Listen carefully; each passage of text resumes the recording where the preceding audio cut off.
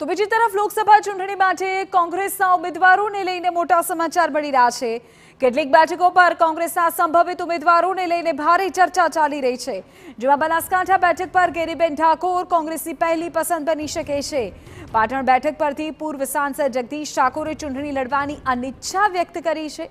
ત્યારે જગદીશ ઠાકોરને બદલે પૂર્વ ધારાસભ્ય ચંદનજી કે પછી રઘુ દેસાઈને ટિકિટ મળી શકે છે. મહેસાણા બેઠક પરથી કોંગ્રેસ પૂર્વ ધારાસભ્ય બળદેવજી ઠાકોરની પસંદગી કરી શકે છે. સાબરકાંઠા બેઠક પર રાજેન્દ્રસિંહ કોપાવત અને કમલેશ પટેલના નામની ચર્ચા છે. અમરેલી બેઠક પર ઠુમ્મર પરિવાર પરેશ તાનાણી અથવા પ્રતાપ દુધાત. આણંદ લોકસભા બેઠક પર પૂર્વ કેન્દ્રીય મંત્રી ભરતસિંહ સોલંકીની શક્યતા. દાહોદ બેઠક પર ચંદ્રિકાબેન બારિયા અથવા તો હર્ષદ નીનામાના નામની ચર્ચા ચાલી રહી છે. તો કોંગ્રેસ કોને ટિકિટ આપશે તે જોવું રહ્યું, પરંતુ આ એ સંભવિત ચહેરાઓ છે કે જે અલગ અલગ બેઠક પરથી નામ ચર્ચાઈ રહ્યા છે. સાબરકાંઠામાં કમલેશ પટેલ અથવા રાજેન્દ્રસિંહ કુંભાવતને ટિકિટ આપી શકે છે.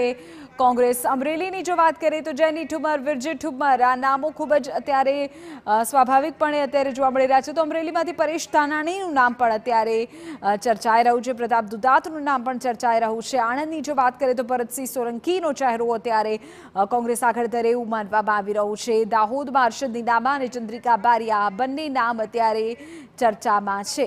તો વલસાડમાં કિશન પટેલ અને આનંદ પટેલ આ બંને ચહેરાઓમાંથી કોના પર કળશ તોડે છે અથવા તો કોઈ ત્રીજું નામ તે જોવું રહ્યું? બારડોલીમાં તુષાર ચૌધરી, દિગ્ગજ નેતા આનંદ ચૌધરી તેમના નામ પર પણ સહમતિ બેમાંથી કોઈ પણ નામ પર સધાઈ શકે છે.